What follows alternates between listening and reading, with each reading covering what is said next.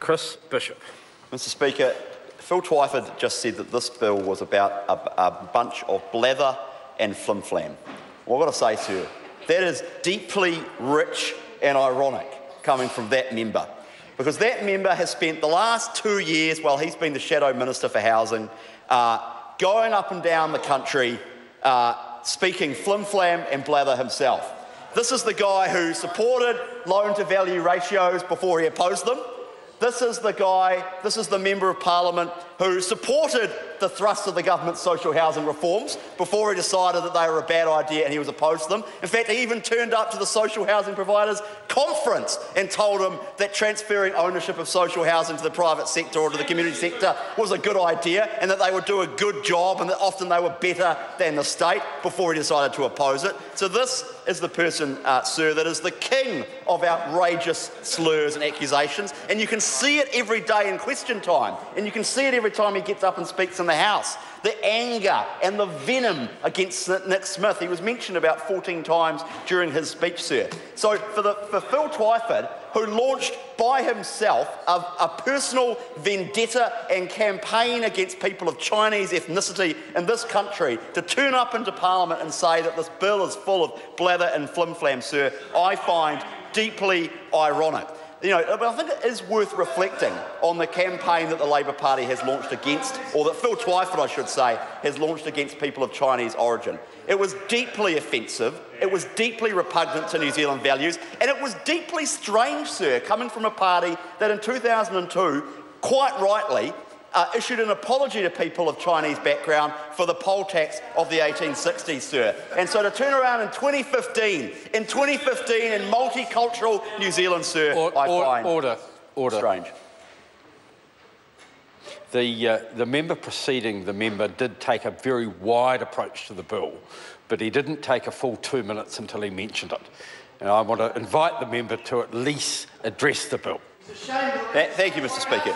Sir, sir this, the, the taxation bright line test for residential land, sir, bill, is, is a good bill. It is not, it is not as the previous member said, a political response to the housing crisis. It is, it is not, uh, as the previous member said, uh, something that the National Party is only introducing because to do so would be to, uh, to do anything more than that would be to disadvantage our rich mates. I mean, uh, I think on all three readings of this bill, Phil Twyford has made the outrageous slur against the National Party that we are not doing something or doing something uh, because of outside interest outside this, part, outside this house, because of money or because of, or because of donations or things like that. Outrageous, sir. So that's not, that's not the point of this bill. This point, this bill, sir, is all about fairness in the taxation system. It's all about making sure that people do actually comply with tax rules properly. Uh, and David Bennett, my colleague, has given a very good elucidation of how the bill uh, does that, sir.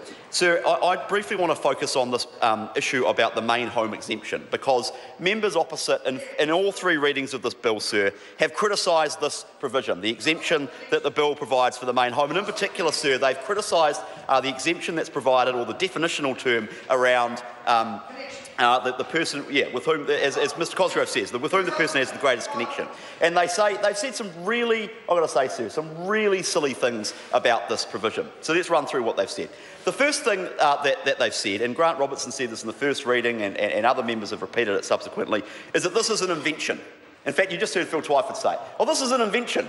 This term doesn't exist in law. Well, yes, that is true.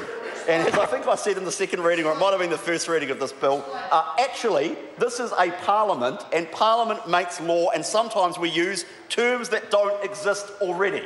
I mean, that's not actually that radical. Sometimes we pass pieces of legislation that contain words that have been combined together to make a phrase that doesn't currently exist. So that is not actually a particularly good point of rebuttal to the idea that this is a good bill, that it's an invention. Okay, so that's, that's the first point. Okay? Secondly, and secondly, in response to this, uh, sir, I've actually talked to the officials, and the phrase the greatest connection, or with whom the person has the greatest connection, is a carefully chosen phrase. It's carefully chosen because although it might not exist in New Zealand statute law right now, it does exist in case law. And members opposite should know, anyway, that the laws of New Zealand are not just based on what we pass here in Parliament or regulations that the executive passes, but also built up through case law. So that so, so, so, sir, that phrase has been carefully chosen. It will allow the courts to apply, sir, this law properly. What was the second thing they said in response? And we heard this from Jacinda Ardern yesterday. Jacinda Ardern got up and said, Oh, this is totally subjective. This is just subjective. It's just a subjective test. No, it is not a subjective test. It is not up to, it is not up to the person uh, to define that. Order, it is an order. objective test. Sorry, I, I, I apologise to the member. Um, members have a set amount of time for which they can speak, and it is not the role of opposition members to try and shut them down in the way that members are trying to do at the moment. Chris Bishop. Well, th thank you, Mr. Speaker. So it's not, it's not a subjective test, it is an objective test. So Jacinda Ardern is completely wrong. And if people try and claim that they have a, a greater connection to the, the crib or the bach, uh, they will have to prove that, and it will be objectively proved. They will have to adduce, they will have to adduce evidence, and the courts, if it gets to the courts, will have to examine that, and they will find one way or the other. Again, it's like explaining the judicial uh, to the members opposite. It's like public law uh, 214 at Victoria University. Uh, I mean, I mean, David Parker out there must be ashamed of some of the stuff that gets said by members opposite. So, what was the third thing that, that, that, the Labour Party have said? They said, "Oh, well, this will just let people, you know, classify the apartment they live in in Wellington when they come for Parliament uh, every week, or they'll be able to classify their bach or beach house as, as, as the, the place with which they have the greatest connection and will be able to exempt from the law. No, as I said before, sir, that is not uh, going to happen. So, sir, this, this phrase doesn't exist in law as it is at the moment, but that is not remarkable. That is not an argument against passing the law. That is just a statement of fact. So some of the criticisms from Labour in response to this bill have been very silly. Sir, this is a good bill. This is a bill that will improve compliance with tax law. It will make our tax system fairer, sir, and I commend this bill to the House. Oh, great.